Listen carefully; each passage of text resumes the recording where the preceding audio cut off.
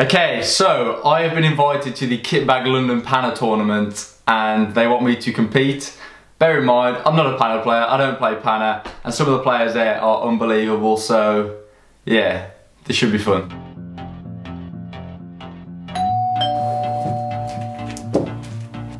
Sick.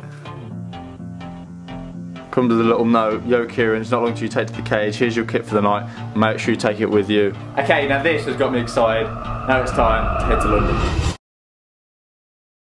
So we went to the train station, the train arrived, we got on the train, had a walk to the station, got some refreshments, got in the Uber, arrived at the venue, they kindly let us in VIP, had a tour of the venue, which by the way was awesome, met the players, they were doing a bit of practicing, I decided to get involved, bad idea. Rules got read out. The Panna has to be intentional. Then it was game time.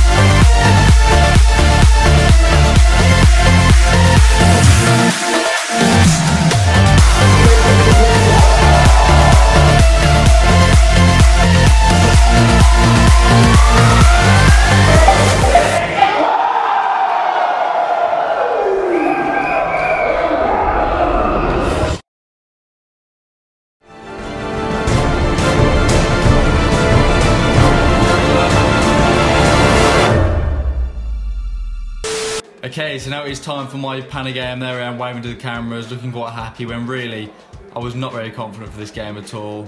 A little bit nervous if I'm honest, but yeah, as we step into the cage, lights go off, it's all cool, little handshake with Rebaz there, and game gets underway. I'll start off by holding back a bit, don't want to open the legs too much and get an early Panna. So yeah, just trying a few skills in there, messing around. Thing is, it's really weird because you get in there and you completely forget all the skills you ever know, so I end up just messing around the ball pretty much, but few skills here, trying trying to get the early Panna. I wasn't really going for goals, I was literally just going for the Panna. Rebaz, great opponent, very physical though, which is something that I did not expect in a Panna match, but, but I guess that's what happens when you play at this level.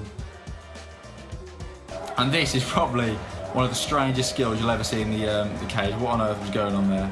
Don't know what I was trying, yeah, that's that. But um, finish off, doing a few skills, just trying to get that Panna. I was not focused on the goals at all, trying to get that Panna but unfortunately it never came. The game ended nil-nil, handshake with Rebaz at the end there. So yeah, overall pretty embarrassing, went out first round, but well done to Rebaz for winning. And now let's check out the final game. Whoa! Ah!